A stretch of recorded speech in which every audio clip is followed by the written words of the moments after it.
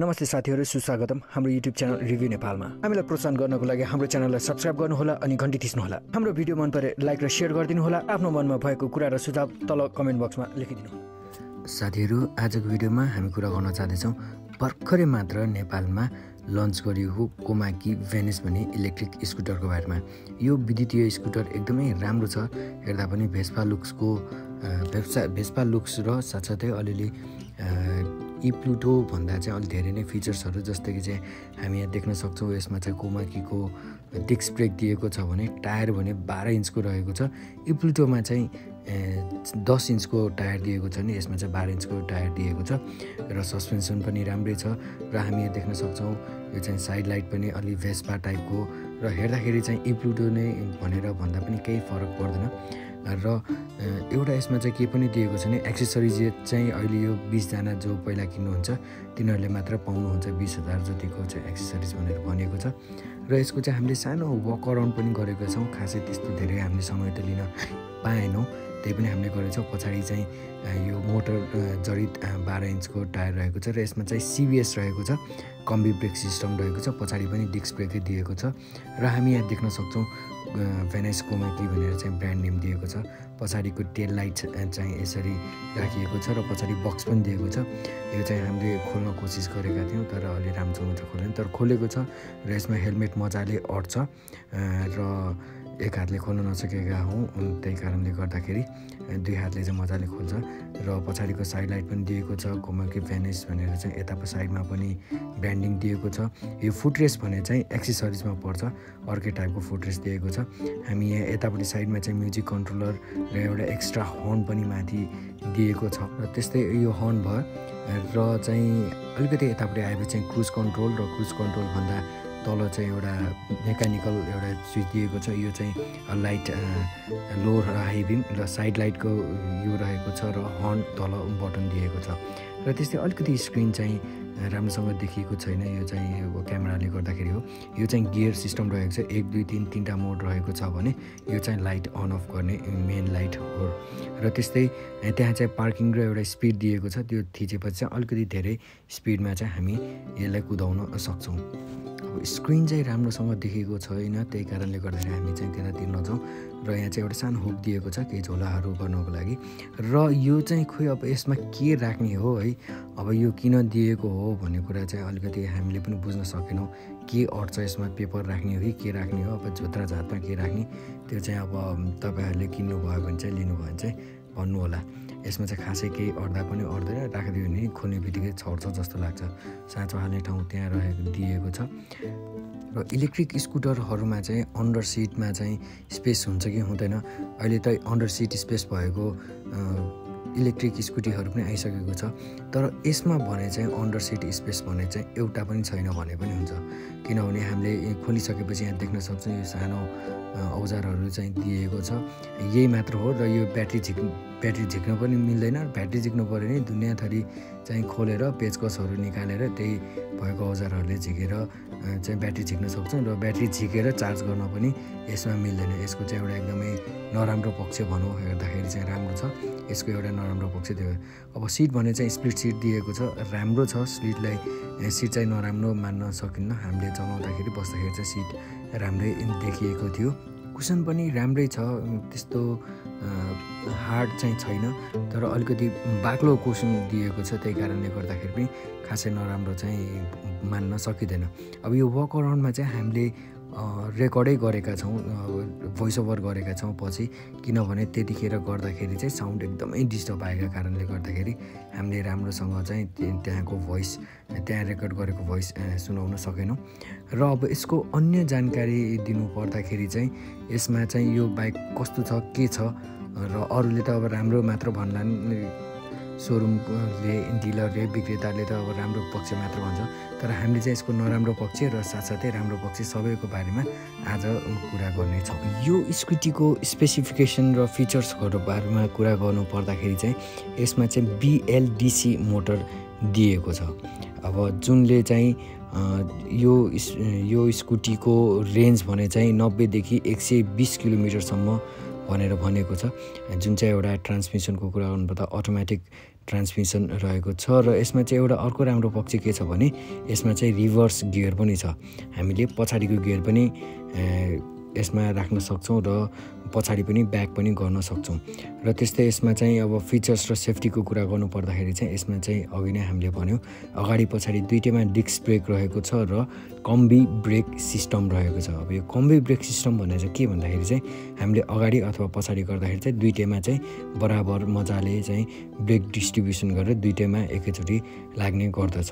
र यसमा अर्को एउटा फिचर के राम्रो छ भने चार्जिङ पोइन्ट पनि दिएको छ जसलाई चाहिँ हामीले चाहिँ युएसबी केबल जोडेर हामीले मोबाइलहरू चार्ज गर्न सक्छौँ। र साथसाथै अर्को एउटा फिचर्स राम्रो फिचर्स के छ भने यसमा चाहिँ मोबाइल कनेक्टिभिटी हामी गर्न सक्छौँ ब्लुटुथ कनेक्ट गर्न सक्छौँ फोन उठाउन सक्छौँ र यसमा चाहिँ स्पिकर पनि भएका कारणले गर्दा यसमा चाहिँ त्यो मोबाइलमा चाहिँ गीतहरू यता अब भोल्युम बढाउनेदेखि लिएर गीत चेन्ज गर्नेदेखि र अन्य मोडहरू पनि यसमा दिएको छ हामी यहाँ स्कुटीमा पनि देख्न सक्छौँ। र त्यस्तै यसमा चाहिँ स्पिडोमिटर ट्रिप मिटर र कन्सोल चाहिँ डिजिटल दिएको छ जसमा चाहिँ घडी पनि टाइम पनि हामीले हेर्न मिल्छौँ। र अर्को यसको एउटा विशेषता भनेको चाहिँ यसमा क्रुज कन्ट्रोल पनि दिएको छ।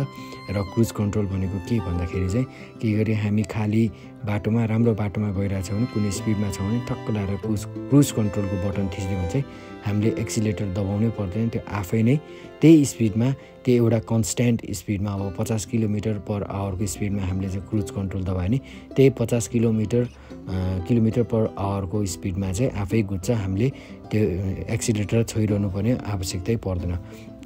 यो सिस्टम चाहिँ यसमा दिएको छ तर सुन्नुमा आए अनुसार चाहिँ हामीले चाहिँ अब काठमाडौँको बाटोमा त्यति क्रुज कन्ट्रोल त प्रयोग गर्न सकेनौँ तर विदेशको इन्डियाको चाहिँ रिभ्यू हेर्दाखेरि चाहिँ त्यो क्रुज कन्ट्रोल गर्नको लागि चाहिँ एउटा म्याक्सिमम् सिक्सटी हो कि सिक्सटी फाइभको स्पिड भएपछि मात्र हामीले चाहिँ क्रुज कन्ट्रोल प्रयोग गर्न सक्छौँ भन्ने चाहिँ हामीले त्यो पाएका छौँ कतिको जानकारी छ यसको बारेमा चाहिँ पूर्ण रूपमा हामीले जानकारी पाएका छैनौँ। र त्यस्तै विन्ड स्क्रिन पनि यसको एडजस्टेबल दिएको छ भने चाहिँ यसमा एउटा टर्बो मोड भन्ने दिएको छ। त्यो टर्बो मोडमा थिचिएपछि चाहिँ झन् झनै पचहत्तरभन्दा माथि स्पिडसम्म चाहिँ जानेछ। र अर्को पार्किङ मोड पनि दिएको छ किनभने अब इलेक्ट्रिक स्कुटर हो अलिकति एक्सिलेटर दबाउने बित्तिकै झुइँ जान्छ। है त्यही कारणले गर्दाखेरि चाहिँ पार्किङ मोडमा राखिदिइसकेपछि हामीले चाहिँ अब अन भए पनि जे गरे पनि एक्सिलेटर दबाए पनि जाँदैन। पार्किङ मोड भएपछि आफै ठक्क लगाएर अफ हुन्छ। र अर्को चाहिँ एन्टी एन्टी थेफ्ट सिस्टम पनि छ। कसैले आएर कुनै अर्को साँचो ल्याएर अथवा स्कुटर चलाउन थाल्यो भने चाहिँ बिप गर्छ र कराउँछ र यसको स्कुटरको जुन अनर रहेको छ उहाँलाई चाहिँ कुनै न कुनै सङ्केत दिन्छ। र प्यासेन्जर फुट फुटरेस्ट पनि दिएको छ र यसमा चाहिँ एउटा डिस्प्ले पनि राम्रै खाली छ। डिस्प्ले त तपाईँले देखिहाल्नु भयो अब त्यो डिस्प्ले चाहिँ इ प्लुटो सेभेन जीहरू धेरै जस्तो इन्डियनहरूमा चाहिँ त्यस्तै पाउँछौँ। र यो चाहिँ इलेक्ट्रिक बाइक भएको कारणले गर्दाखेरि अगाडि र पछाडि चाहिँ अगाडि चाहिँ टेलिस्कोपिक रहेको छ भने पछाडि चाहिँ मोनोसक दिएको छ। यसको हामीले गर्दाखेरि चाहिँ राम्रै पायो किनभने अलिकति खाल्टाखुल्टीमा पनि जान जाने नै लगेका थियौँ टेस्ट राइड गर्दाखेरि। राम्रो थियो जस यसको सस्पेन्सन नराम्रो भन्न सकिन्न। र त्यस्तै यसमा चाहिँ एलइडी हेडलाइट टेल लाइट र टर्न सिग्नल ल्याम्प सबै एलइडी दिएको छ र ब्याट्रीको कुरा गर्नु पर्दाखेरि चाहिँ यसमा चाहिँ बहत्तर भोल्टको चालिस एम्पायरको ब्याट्री क्यापेसिटी रहेको छ जुन चाहिँ एउटा लिथियम आयन ब्याट्री रहेको छ। र ब्याट्रीको सबैभन्दा राम्रो पक्ष के भन्दाखेरि चाहिँ बहत्तर भोल्टको छ चालिस एम्पायरको छ र यसले रेन्ज एक सय बिस किलोमिटरसम्म दिन्छ भने यसमा चाहिँ यो स्कुटीको सबैभन्दा नराम्रो पक्ष अलिकति नराम्रो पक्ष के भन्दाखेरि चाहिँ ब्याट्री चाहिँ झिकेर लगेर चार्ज गर्न सक्दैनौँ अरू स्कुटीको जस्तै चाहिँ डिट्याचेबल छैन। डिट्याचेबल त छ ब्याट्री झिक्न त सक्छौँ तर लगेर चार्ज चाहिँ गर्न सक्दैनौँ। चार्ज गर्नको लागि चाहिँ त्यो स्कुटीमै तार जोडेर चार्ज गर्नुपर्ने हुन्छ। र यसको टायर साइज भने चाहिँ अगाडि पछाडि दुइटैमा चाहिँ नाइन्टी बाई नाइन्टी बाह्र इन्चको टायर दिएको छ भने जसको विल साइज भने चाहिँ तिन सय चार दशमलव आठ एमएमको रहेको छ।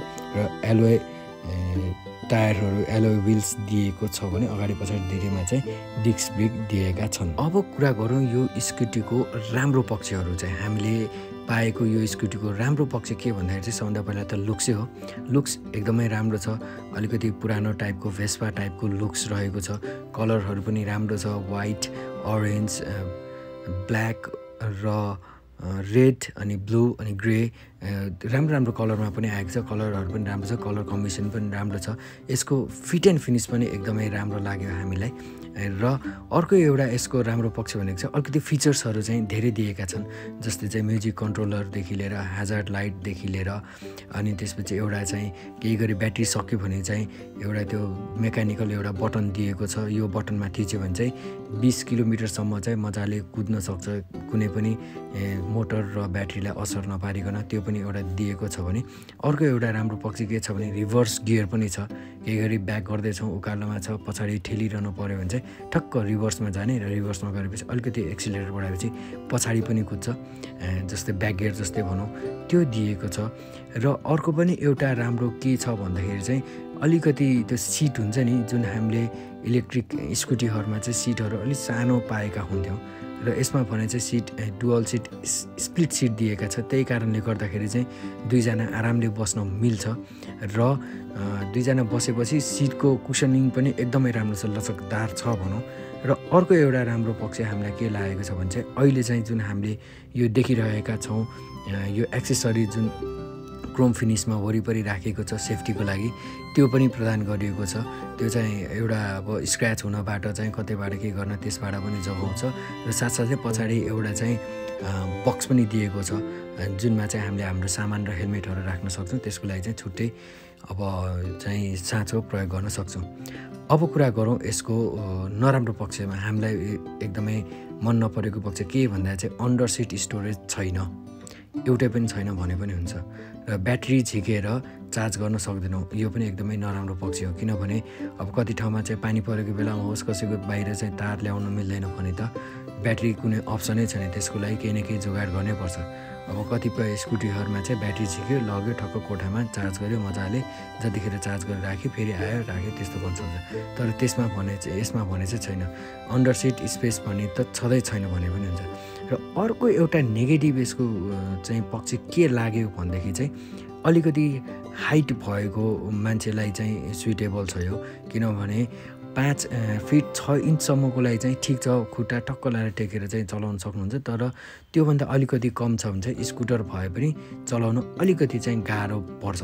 किनभने यसको ग्राउन्ड क्लियरेन्स राम्रो त राम्रो छ तर अलिकति हाइट धेरै भएका कारणले गर्दाखेरि चाहिँ अलिक होचो भएको मान्छेलाई चाहिँ चलाउनु अलिकति गाह्रो पर्न सक्छ। र त्यस्तै अब हुन त अब ओभरअल कुनै न कुनै स्कुटरको केही न केही फिचर्सहरू त छैनन् तर हामीले चाहिँ अझै पनि के खोजिरहेका छौँ भने हिल असिस्ट भन्ने होस् स्कुटरमा भन्ने चाहन्छौँ। किनभने जहिले तपाईँ केही गरी इलेक्ट्रिक स्कुटर किन्दै हुनुहुन्छ भने चाहिँ टेस्ट राइड लिनुहोस् र टेस्ट राइड लिएपछि अलिकति ठाडो उकालोमा जानुहोस्। ठाडो उकालो नतान्ने होइन उकालो तान्छ तर बिच उकालोमा चाहिँ तपाईँ एकपल्ट ठक्क रोकिनुहोस् र रोकेपछि एकपल्ट पिकअप लिनुहोस्। पिकअप लिँदाखेरि कतिको गाह्रो हुन्छ त्यो चाहिँ तपाईँले एकपल्ट याद गर्नुहोस्। यो कुरा चाहिँ हामीले किन भनेका छौँ भने चाहिँ जब हामीले कुनै पनि इलेक्ट्रिक स्कुटर होस् अथवा बाइक होस् त्यसमा चाहिँ एउटा के सिस्टम बनेको हुन्छ भन्दै चाहिँ हामीले ब्रेक लगाएपछि चाहिँ मोटरको पावर कट अफ हुन्छ। ब्रेक लगाएपछि तपाईँले जति नै दबाउनुहोस् त्यो जाँदै जाँदैन मोटर चल्दै चल्दैन। र यसको लागि चाहिँ के छ भने त्यो मोटर उकालोमा उकालिसकेपछि हामीले रोकिसकेपछि त्यो ब्रेक र मोटरको पावर त एक्सिलेटरको गर्दाखेरि कम्बिनेसन मिलेन भने पछाडि अलिकति ब्याक आउँछ र अलिकति केही गरी हेभी मान्छे पछाडि बस्नु भएको छ भने तपाईँलाई त अलिकति ब्याक गरेर पिकअपै नलिएको जस्तो पनि कति हुन्छ। र यसको लागि चाहिँ तपाईँले उकालोमा गर्नुहोला। हिल असिस्ट भन्ने चाहिँ हामीले खोजिरहेका छौँ। अब अहिलेसम्म हामीले हेरेको मध्येमा चाहिँ इलेक्ट्रिक स्कुटर अथवा बाइकमा चाहिँ ओलामा चाहिँ ओलाको पनि एस वान प्रोमा मात्र छ। ओला त नेपालमा आएको छैन। एस वान प्रोमा चाहिँ हिल असिस्ट दिएको छ। त्यसले चाहिँ के गर्छ भने चाहिँ हामीले ब्रेकै नच नलगाए पनि उकालो छ भने चाहिँ त्यो हिल असिस्टले चाहिँ तिन सेकेन्ड दुई सेकेन्डदेखि तिन सेकेन्डसम्म चाहिँ ब्रेक लगाएर ठक्क गरेर आफै लाएर चाहिँ त्यहाँ मोटर गुड्नबाट पछाडि जानबाट चाहिँ बचाउँछ र हामीले मजाले चाहिँ त्यो अब एक्सिलेटर दबाएर भनौँ मोटर चलाएर जान सक्छौँ पछाडि सम्भावित दुर्घटना अथवा पछाडि जानबाट चाहिँ रोक्छ। यो एउटा सिस्टम चाहिँ हामीले खोजिरहेका छौँ यसमा चाहिँ छैन। ओभरअल अरू सबै कुरा ठिक छ एकदमै राम्रो छ। लुक्स पनि राम्रो छ ह्यान्डलिङ पनि राम्रो छ सबै कुरा राम्रो छ पावर पनि एकदम राम्रो छ स्पिड पनि राम्रो छ रेन्ज पनि राम्रो छ। अब कुरा गरौँ पैसा। पैसा भने चाहिँ तिन लाख दस हजार भनेर भनेको छ। पहिलो बिसजनालाई बिस हजारसम्मको छुट र के के के दिएको छ र यसको चाहिँ सोरुम चाहिँ बालटारमा रहेको छ। कहाँनिर छ भन्दाखेरि चाहिँ बालटारको चाइनिज एम्बेसीको नजिकै रहेको छ। तपाईँ जान सक्नुहुन्छ इजिली। टेस्ट राइड गर्न सक्नुहुनेछ। र योसँगै अर्को एसई भन्ने पनि छ कोमाकीको र एसीको चाहिँ हामीले गरेनौँ किनभने एसी चाहिँ ठ्याक्कै लाएर चाहिँ त्यो जुन ओकिनाभाको स्कुटी भने पनि हुन्छ आइप्रेस प्लस भने पनि हुन्छ आइप्रेस प्रो भने पनि चाहिँ ठ्याक्कै त्यही हो। त्यही कारणले गर्दा हामीले खासै त्यसमा चाहिँ इन्ट्रेस्ट दिएनौँ। यो चाहिँ थियो यो पनि हुन त इप्लुटो भनेर भने नि हुन्छ तर इप्लुटोभन्दा चाहिँ धेरै फिचर्सहरू र धेरै कुराहरू राम्रो यसमा रहेका छन्। र साथीहरू तपाईँलाई हाम्रो भिडियो कस्तो लाग्यो? अरू भिडियो पनि हामी ल्याउने नै छौँ। र यसरी नै नेपाल र नेपालीसँग सम्बन्धित कुनै पनि कुराको बारेमा जानकारी चाहनुहुन्छ भने हामीलाई तल कमेन्ट बक्समा लेख्नुहोला। नेपाल र नेपालीको भलो होस्। जय नेपाल।